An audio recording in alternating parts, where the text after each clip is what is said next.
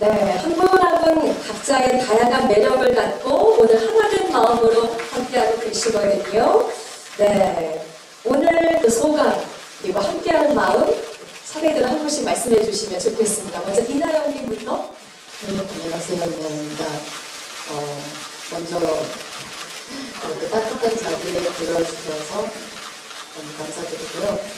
어, 오해어로 음, 이번 또 춥다고 하는데 추운 겨울 음, 조금이나마 따뜻한 겨울을 보내셨으면 좋겠습니다.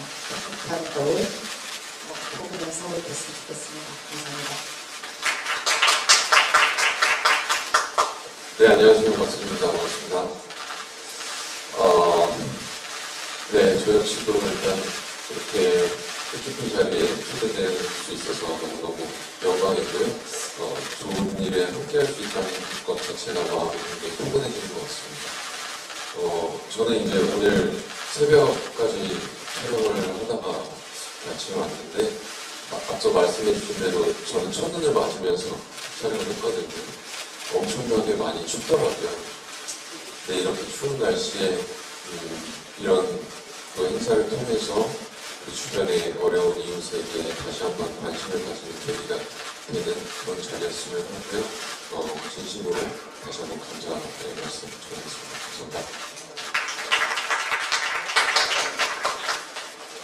네, 저는 이수입니다.